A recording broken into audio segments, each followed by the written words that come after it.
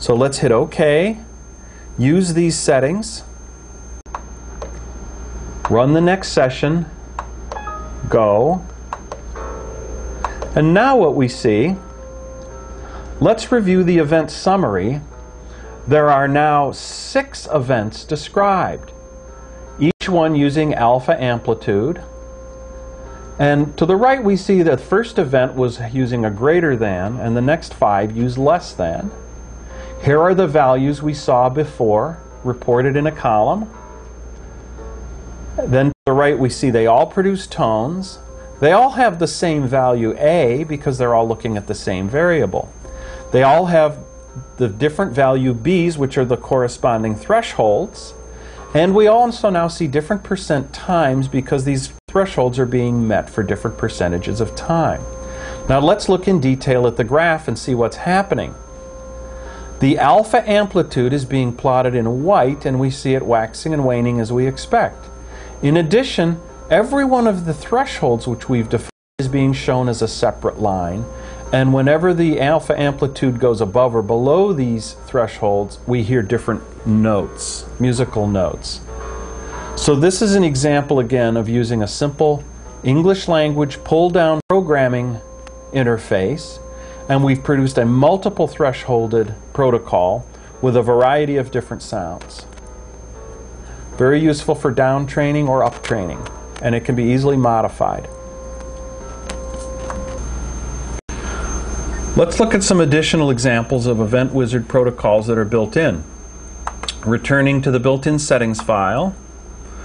One, for example, we see is Demo Beta Coherence Range Training with changing sounds. It's becoming increasingly important in coherence training to train within preset ranges in order to ensure we neither train too high or too low. Again, we'll read in the settings from that file. And let's look at the Event Wizard design. We now find that we've chosen, under the event condition, channel 1 beta coherence. And we're checking to see that it's less than a value of 8. If it's less than a value of 8, playing a MIDI sound, and the MIDI sound uses the shakuhachi flute with a note of A.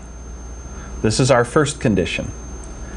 We now go to event number 2, and we see that it says if channel 1, beta coherence, is greater than a value of 8, now we play a MIDI sound, and in this case, the sound is beginning at note A with a flute. The modulation is now amplitude and pitch modulated with a loudness change rate of 2 and a note change rate of 2, or rather 3 and 2, and a, a major mode. This is going to be the main training range to be training coherence above a level of 8. Now, if we look at event 3, what we find is if channel 1 beta coherence is greater than a value of 13, the event now is set to inhibit event sounds. So if the coherence exceeds this value of 13, the sounds will be turned off. Let's see how this protocol operates. Again, run the next session.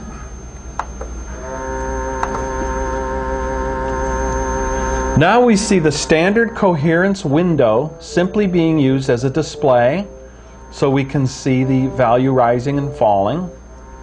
Beneath it, we see our three event conditions. Channel 1 coherence, less than 8, greater than 8, and greater than 13. Going to the right, we see the value of coherence, and the threshold values and the percent times. Now, looking at the graph, we can see what's happening. When coherence exceeds 13, there's no sound at all. When the coherence is below 13, we hear the notes rising and falling. And when the coherence goes below 8, that's when we find the uh, note will hold steady at a bottom tone, indicating we're outside the training range. So again, a very simple example using three events we're able to create a complex protocol, training a variable like coherence, and training it within a specific range.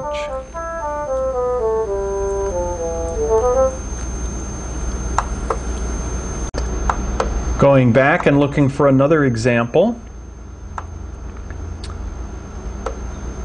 Let's look at this one, demo alpha percent energy with Chinese koto sounds. We'll read in these settings, hit OK. The event wizard now says, event 1 is if channel 1 alpha percent energy is greater than 11, then play a MIDI sound. The reason percent energy is a nice training variable is that it automatically provides stop bands. If either the theta or the high beta become excessive, then this percent energy will drop and uh, it will be, give us the equivalent of training with guard bands. Looking over to the right, we see we've chosen instrument Koto and we've started on note A440. It's sustained with pitch modulation and the musical scale that's chosen is the Chinese musical scale. That's the only event that's necessary in order to perform this protocol. Use these settings, run the next session and go,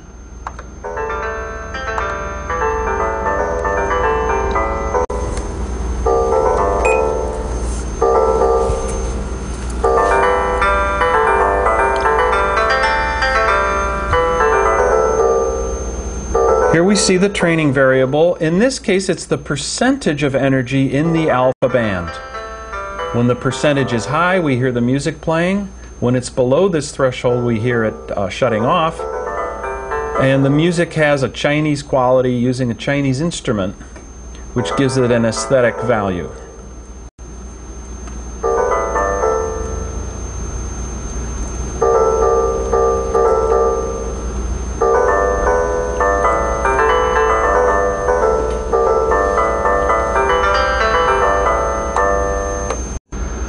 Returning again to viewer change settings,